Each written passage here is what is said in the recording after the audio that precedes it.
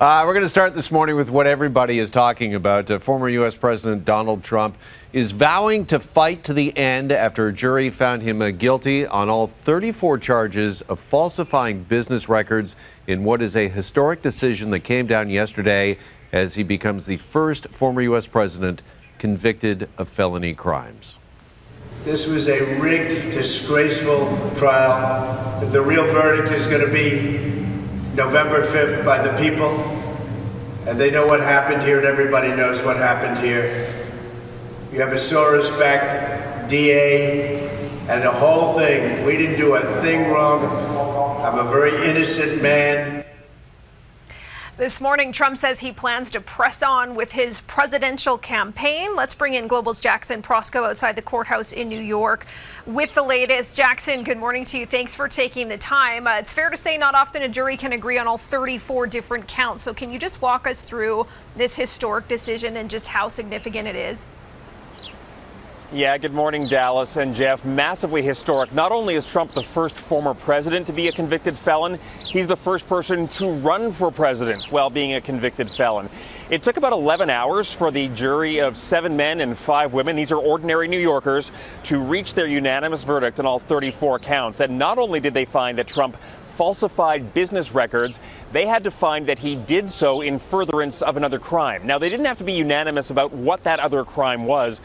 But it's all but certain they bought the prosecution's argument here that that other crime was unduly influencing or affecting the 2016 election. And essentially, the prosecutor said, look, Trump engaged in this hush, money scheme to buy the silence of an adult film star via his lawyer, Michael Cohen, because he wanted to keep her quiet right before the 2016 election. He didn't want her damaging story about an alleged affair with Trump to come out right before the election, something that would influence voters. Prosecutors said that could have tipped the election either way. And it seems as though the jury bought that argument.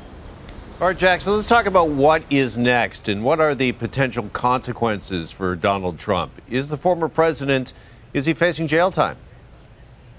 He is. Uh, we will find out on July 11th at a sentencing hearing what exactly Trump is facing. Uh, potentially four years in prison for each of the counts to a maximum of 20 years total. It seems really unlikely that Trump will ever see the inside of a prison cell based on his age, the fact that he's a first time offender, the fact that these are white collar crimes. But that could still happen.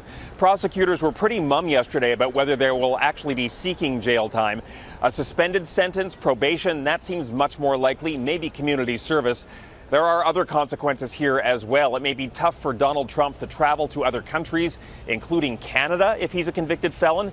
And he cannot vote in the presidential election. He cannot vote for himself because he's a resident of Florida.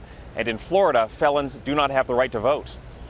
Uh, interesting stuff there. So we'll watch to see what happens on July 11th. Uh, we heard this morning that Trump plans to press on with his presidential campaign. Can you talk about what this means for that process? Yeah, well, first of all, that July 11th sentencing hearing is just four days before the Republican convention in Milwaukee, where Trump will officially become his party's nominee. So you can't miss the timing there. Look, legally, there's nothing that says you can't run for president if you're a convicted felon. There's nothing that says you cannot hold the office of president if you're a convicted felon. And if things were to play out sort of to their maximum here in every possible sense, Trump winning and going to prison, there's nothing that says you can't run the country from inside a prison cell. So that's what we're talking about here. Trump is all but certainly going to campaign based on this. He is trying to paint this as a plot led by President Joe Biden. That is utterly false. He was convicted by ordinary people chosen at random here who could have easily acquitted him if they felt that the evidence, evidence didn't stack up. But Trump's going to campaign on this, and in fact, he is planning a campaign rally today from Trump Tower right here in New York. You just know he is going to seize upon this and claim that he is the victim of political persecution. Well, extraordinary times to say the least. Jackson Proskow in New York for us this morning with the very latest. Jackson, appreciate it as always. Thank you.